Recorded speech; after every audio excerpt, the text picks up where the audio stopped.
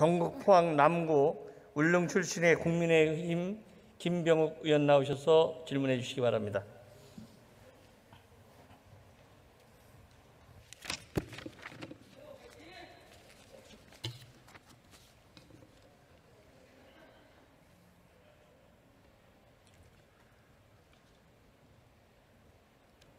경북 포항시 남구와 울릉도 그리고 독도를 지역구로 둔 국민의힘 김병욱 의원입니다.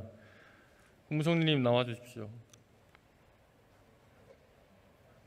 아, 예 예. 기다릴까요?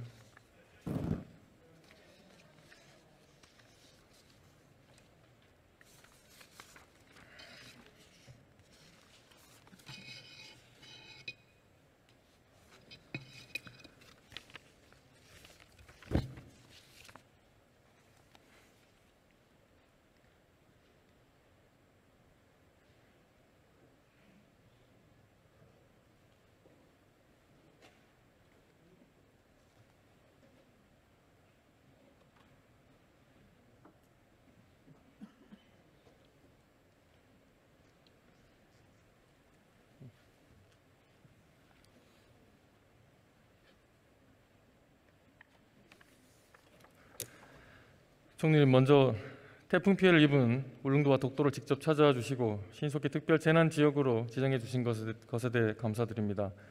코로나 연이은 태풍까지 겹쳐 생계에 큰 타격을 입은 울릉도와 주, 울릉도 주민들의 생존권을 보장하고 소중한 우리 땅 울릉도와 독도를 우리 국민들이 언제든 직접 찾을 수 있도록 저반 시설이 조속히 복구되어야 합니다. 총리님 이 자리에서 우리 정부가 울릉도와 독도 피해 복구를 언제까지 신속하게 하겠다 이런 계획과 의지를 한번 밝혀주시기 바랍니다. 예, 그 울릉도 주민들의 발이 묶이면 안 되겠죠. 네, 어, 또 제가 아, 직접 보았습니다마는 이제 에, 저반 시설이 문제가 생겨서 어, 우선 응급 복구를 신속하게 하고 그다음에 항구 복구를 제대로 해야 된다고 생각을 합니다. 아, 그런 부분은 이제 특별 재난 지역으로 선포를 했기 때문에 실제로 복구 작업을 하는 것은 울릉 군이 하는 일이거든요. 그래서 경북도와 함께 에, 필요한 조치들을 신속하게 할 수 있도록 중앙정부는 적극 지원하겠습니다. 네 고맙습니다. 본격적으로 질문하겠습니다. 총리님 요즘 마음쓸 카페에서 엄마들이 가장 걱정하는 일이 뭔지 아십니까?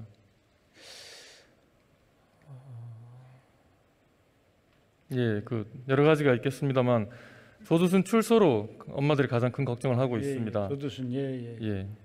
지금 그 화면에서 나오고 있습니다만 지금 보고 계신 화면은 며칠 전 조두순 사건 피해자 부친께서 저에게 직접 보내준 편지글 호소문입니다. 하루아침에 청천벽력 같은 소식을 접한 후 12년이 다 돼가는 지금까지 잠담하고 악몽같이 몸부림치며 온 가족이 살아가고 있습니다. 경제활동을 할 수 없고 치료비와 생활용품을 구입하기 위해 지금도 헤매고 있습니다. 나는 지켜보았습니다. 아픈 우리 아이를 법정에 세워놓고 자기가 아니다. 어린아이라 기억이 잘못됐다. 진짜 범인이 밖에서 또 강력 범죄를 저지를 것이다. 라며 협박하던 자입니다. 법무부에서 심리 상담 후 조두순이 잘못을 인정하고 반성하며 출소 후 무리를 일으키지 않겠다라고 전했다고 합니다. 반성했다면 피해자가 살고 있는 가까운 곳으로 올 것이 아니라 피해자가 안심할 수 있는 조치를 했어야 말과 행동이 일치되는 것인데 진실성이 없어 보인다고 누가 믿습니까? 진실성이 있어 보인다고 누가 믿습니까? 11년 전에 정부에서 그랬습니다. 조두순을 영구히 격리하겠다고 국민께 약속했어요. 그 약속 지켜주실 것을 지금도 믿고 있습니다.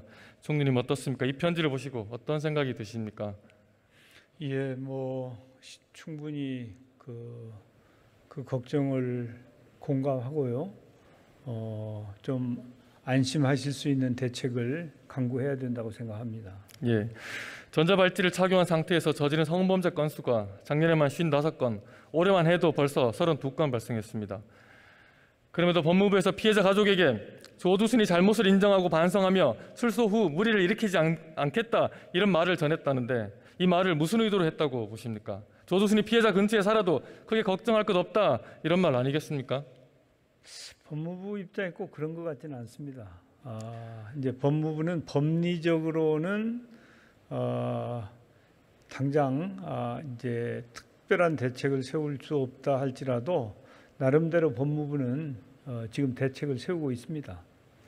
피해자 가족 입장에서는 그 말은 그 조두순이 근처에 살아와도 근처에 살더라도 별 지장이 없다 문제가 없을 거라 이런 말로밖에 들리지 않을 수 들릴 것입니다. 피해자 가족은 지금 정부에 조두순과 피해자를 영구히 격리시켜 주기를 원하고 있습니다. 그런데 어제 이재정 경기교육감은 조두순은 법률에 의해 나올 수밖에 없고 어디에 사는지 자유도 헌법에 보장됐다. 강제로 막아서는 일이 해결되지 않는다고 했습니다. 피해자와 그 가족의 고통과 두려움 그리고 높은 재범 가능성을 고려, 조금이라도 고려한다면 이런 말은 쉽게 할 수도 해서도 안 되는 것입니다. 조두순의 출소가 코앞인데도 지금 정부는 무책임한 대응, 대응과 안일한 인식만 보여주고 있습니다. 피해자 중심주의가 아니라 조두순 중심주의, 범죄자 중심주의가 정부 내에 만연한 것은 아닌지 의문입니다. 청리님, 피해자가 보기에 일반적 일반 국민들이 보기에도 우리 정부가 너무 안일하게 대처하고 있다고 보시지 않으십니까? 어, 전혀 안일하게 대처하고 있지 않고요.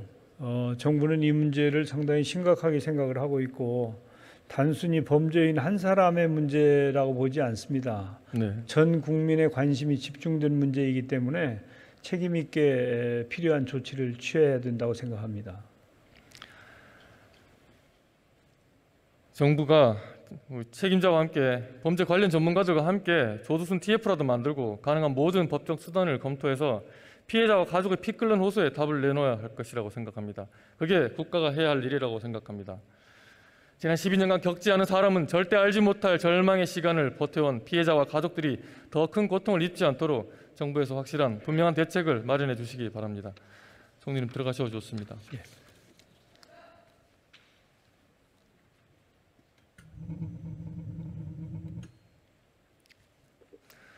사회부총리 겸 교육부 장관님 나와 주십시오.